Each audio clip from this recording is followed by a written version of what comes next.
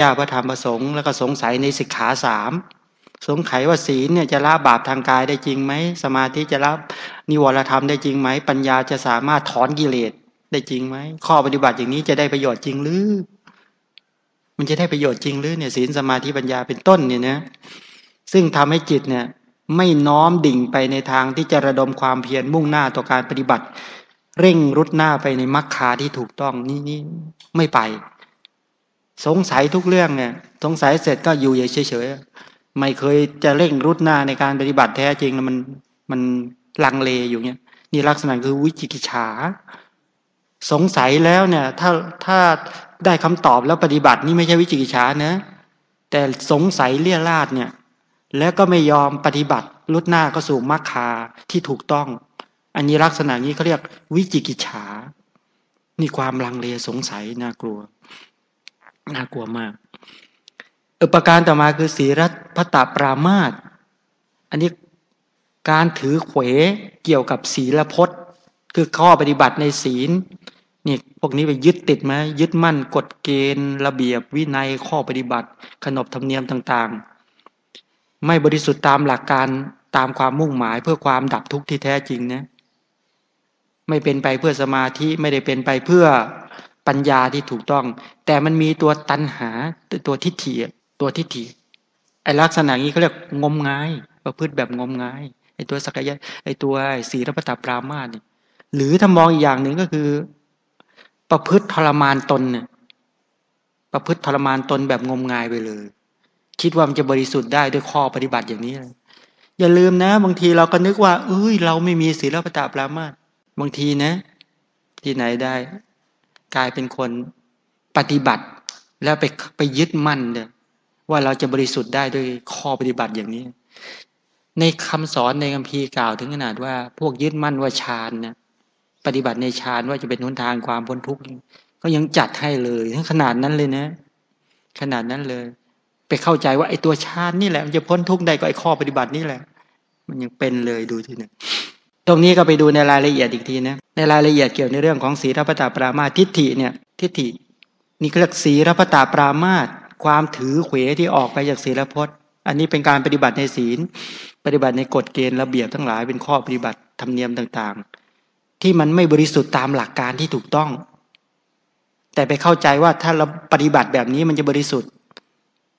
มันจะเข้าถึงความบริสุทธิ์ มันจะเข้าถึงความพ้นทุกข์ได้เองไปยึดหลักการที่ผิดพลาด อภิการต่อมาคือ มัชริยะนี่พระโสดาบันละได้แล้ว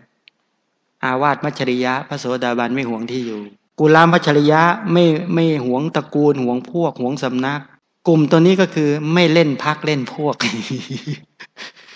กลุ่มกลุ่มกุลามัชริยะนี่เล่นพักเล่นพวก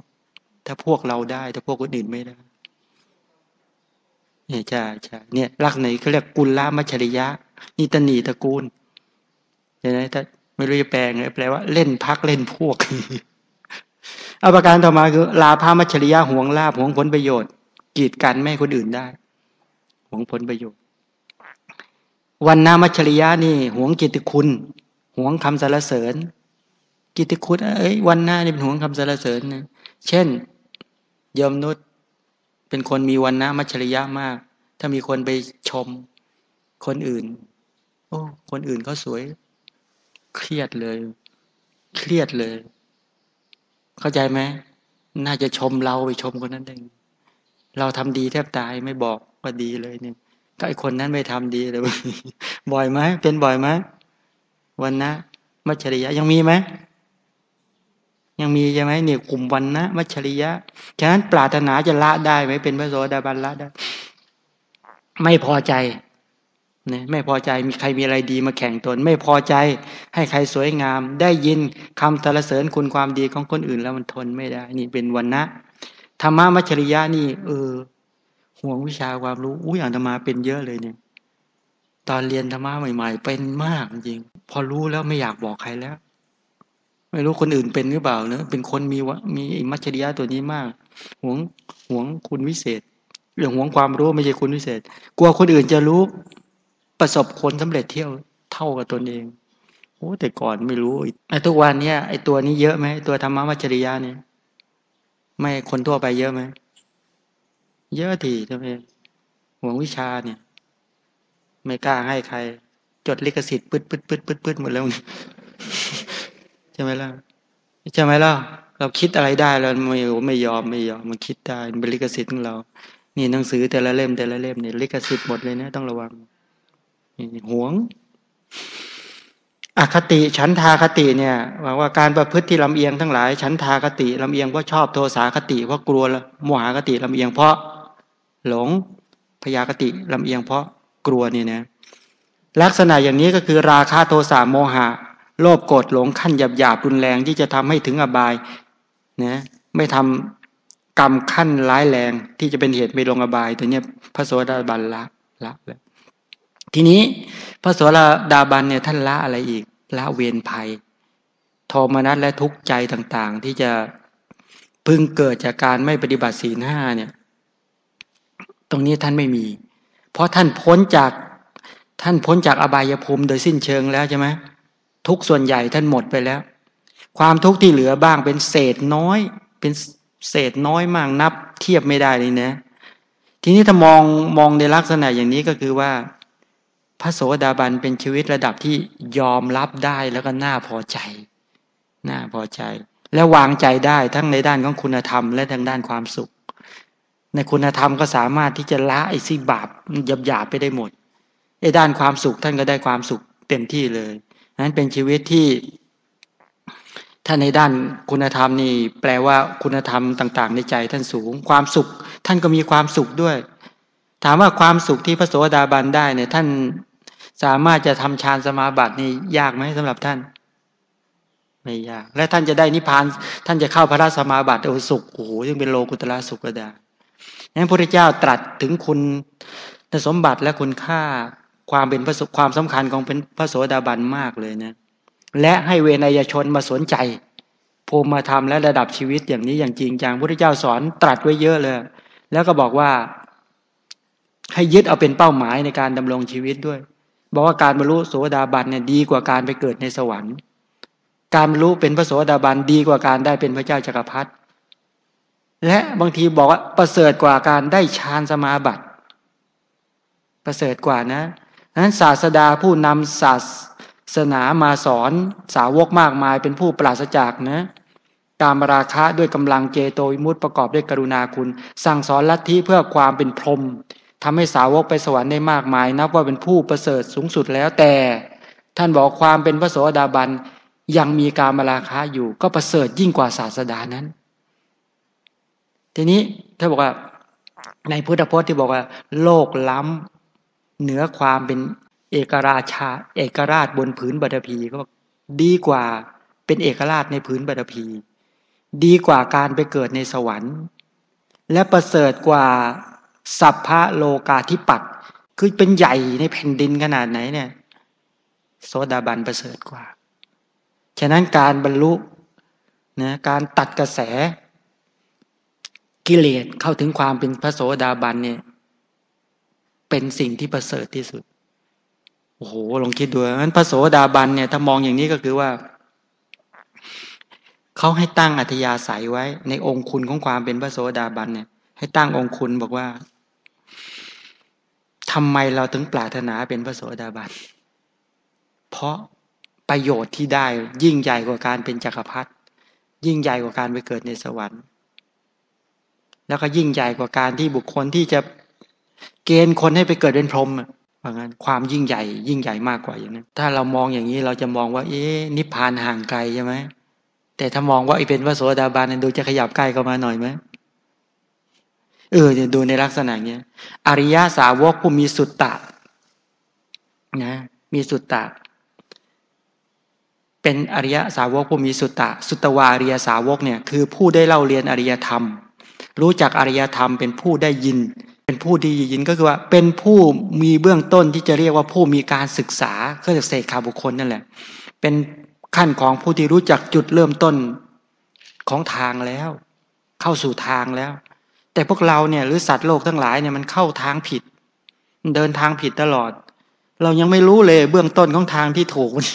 ใช่ไหมแต่พระอริยสาวกนี่ไม่หลงทาง ไม่หลงทาง มีอุปกรณ์ก็คือปัจจัยในการเดินทางเตรียมพร้อมแล้วกำลังมุ่ง ออกจากบริเวณป่าที่หลง เหมือนคนหลงป่าแต่เราเนี่ยยังหาทางอยู่ใช่ไหมแล้วนี่ทีนี้เราเนี่ยมีอะไรนะ พวกเราคือพวกหลงป่าใหญ่ ท่านว่างั้น หลงป่าใหญ่หาทางออกไม่ได้ ออกจากป่าใหญ่ไม่ได้ ทีนี้เผอิญเราเนี่ยได้มาศึกษาคำสอนพระเจ้าได้แผนที่เลยได้แผนที่ แต่กำลังเกรงแผนที่กันอยู่ เล็งเล็งเล็งนี่นะคำนวณอยู่แต่พระโสดาบันนี่เดินทางได้แล้ว ท่านจับทางแล้ว เดี๋ยวท่านเดินออกป่าใหญ่ได้แต่ตอนนี้เราเราคลำแผนที่อยู่กำลังมาเดินอะไรเนี่ยศีลตอนนี้กำลังมาฝึกอานาปนาอยู่ จนจะได้ได้ยังตอนนี้เนอะก็มากำหนดเลยกำหนดแผนที่เล็งแผนที่ตรงเป๊ะยัง ได้คณิกายยัง อุปจาระอัปนาเนี่ยเริ่มเริ่มแล้วแล้วก็ตั้งฐานของอัปนาเดินวิปัสสนาญาณยกเห็นนามรูปปริเฉทญาณได้เนี่ยโอ้โหเนี่ยแสดงว่าเริ่มสว่างแล้วใช่ไหมมันจะเริ่มมั่นใจแล้ว อ่านแผนที่ออกชัดและถูกต้อง แต่ตอนนี้เดินใช่ไหมตอนนี้เดิน ตอนนี้ลางๆไหม ระหว่างแผนที่กับที่ปฏิบัติเนี่ย มันรู้สึกสอดคล้องกันเนี่ย ถ้าอย่างนี้เริ่มชัดเนี่ยดูมันยังมืดอยู่เลยตัวกิเลสโจมตีซ้ายโจมตีขวาอยู่เลยเนี่ย ยังอยู่ตรงไหนอยู่ อยู่จุดไหน เข้าใจอุปมาที่พระองค์ทรงอุปมาไหมว่าพวกเราหลงป่าใหญ่ พูดศึกษาปริยัติเหมือน ได้แผนที่แล้ว ได้ได้แผนที่เดินออกจากป่าแล้ว เริ่มเดินนี่ยัง ถามจริงไอ้จะออกจากป่าใหญ่จริงหรือเปล่าจะออกจริงๆใช่ไหมไม่เล่นนะ ออกจริงเลยใช่ไหมตั้งใจจะออกไหมเพราะเพราะเรากลัวภัยในป่า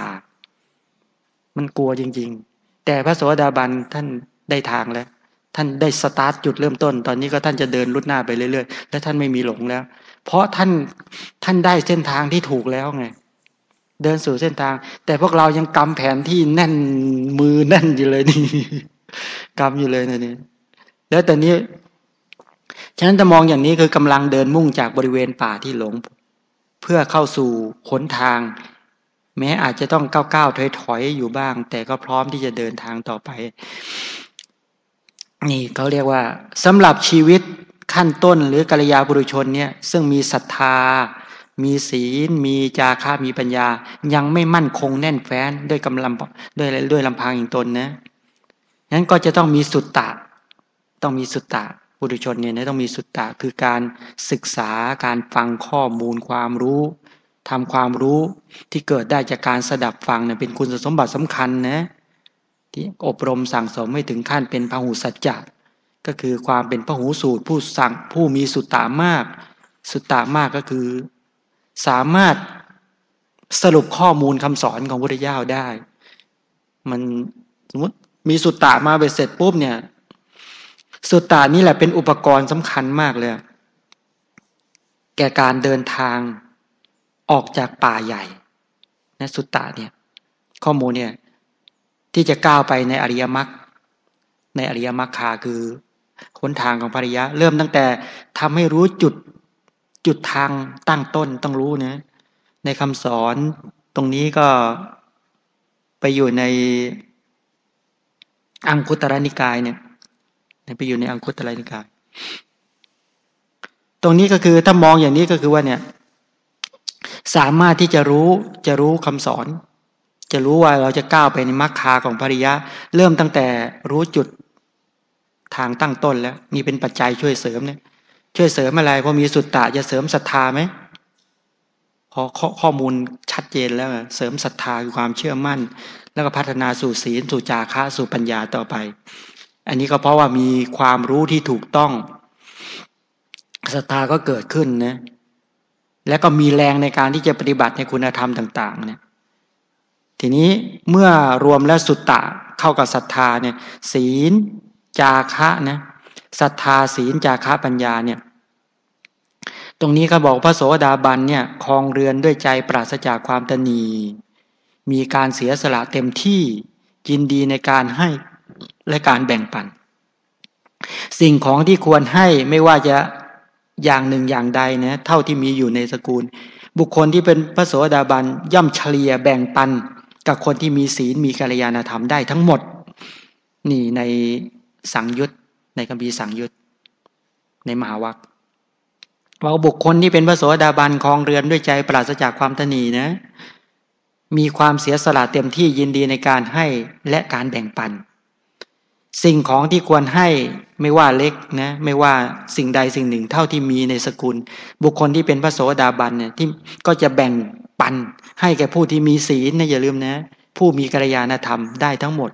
นั้นถ้ามีผู้มีศีลมีมีกัลยาณธรรมเนี่ยพระโสดาบันแบ่งปันให้หมดเลย